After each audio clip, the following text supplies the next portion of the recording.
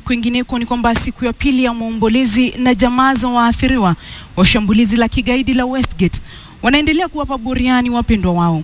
Leo ilikuwa zamu ya familia ya mtangazaji Rohila Adatia waliofika katika makaburi ya Kariokoo kumsindikiza katika safari yake ya mwisho. Baada ya maombi katika ukumbi wa Ismailia wa Aga Khan, wote walitoka nje ili kuipokea miili.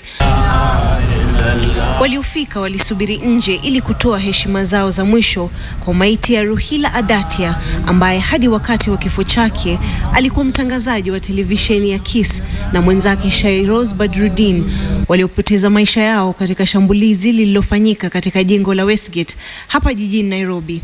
Ni mkasa uliopelekea vifo vya watu wengi ambao hawakuwa na hatia yoyote. Kilichofuata ikawa ni kupelekwa kwa miili hii katika makaburi ya Waislamu yaliyopo eneo la Kariokoo.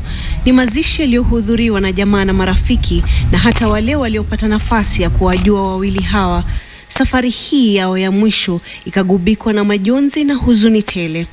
Ruhila alikuwa miongoni mwa wale walioandaa mashindano ya watoto ya kupika yaliyoandaliwa katika jengo la Westgate katika ghorofa ya tatu, lakini tamasha hii ya upishi haikufanyika kama ilivyopangwa